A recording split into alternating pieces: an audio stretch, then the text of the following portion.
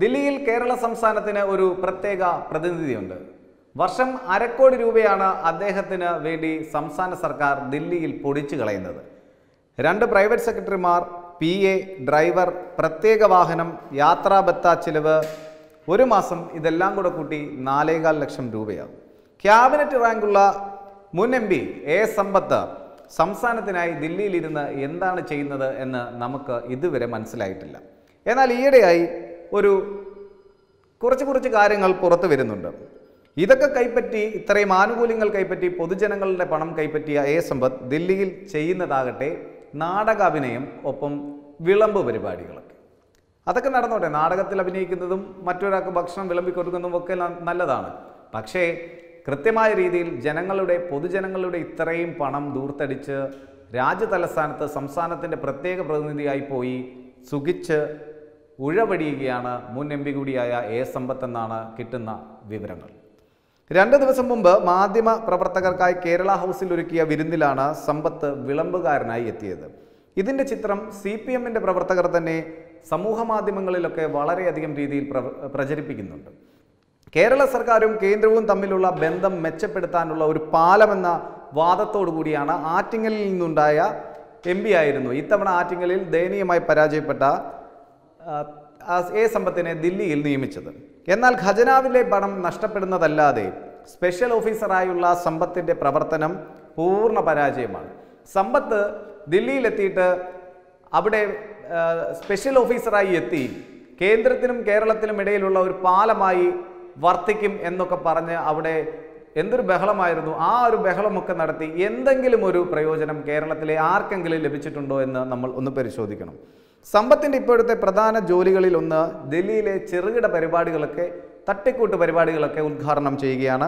കേന്ദ്ര സർക്കാർ നടത്തുന്ന ഫെയറുകളിൽ കേരളത്തിന്റെ സ്റ്റാളിൽ പോയി ഇരിക്കുകയാണ്. നാടകത്തിൽ അഭിനയിക്കുകയാണ് തുടങ്ങിയവയാണ്.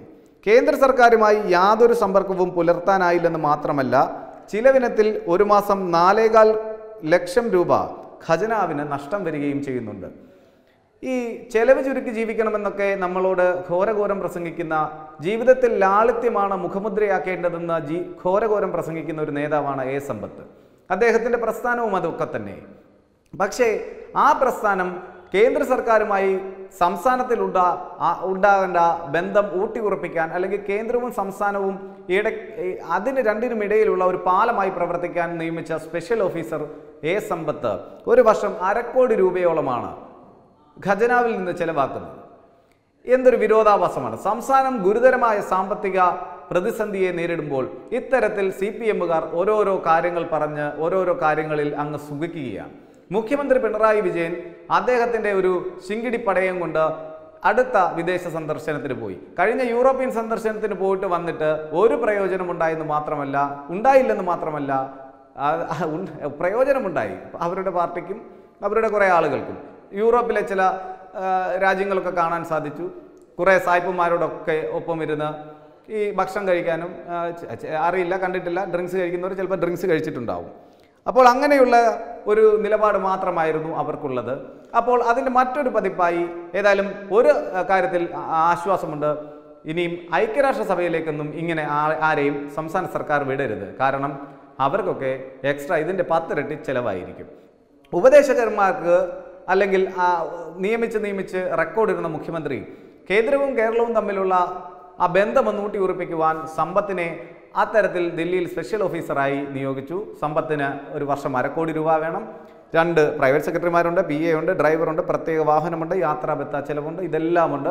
പക്ഷേ പരിപാടിയൊന്നും നടക്കുന്നില്ല. അദ്ദേഹം അവിടെ കാട്ടിക്കൂട്ടുന്നത് അതിഥികൾക്ക് ഭക്ഷണം വിളമ്പുക നാടകത്തിൽ അഭിനയിക്കുക കേന്ദ്ര സർക്കാരിന്റെ ഏതെങ്കിലും ഫെയർ പരിപാടികളിലൊക്കെ കേരളത്തിന്റെ സ്റ്റാൾ ഇടുക സ്റ്റാളിൽ പോയിരിക്കുക. അടിപൊളി പരിപാടിയാണ്. ഇതായിരിക്കണം ഇങ്ങനെ ആയിരിക്കണം സ്പെഷ്യൽ ഓഫീസർ.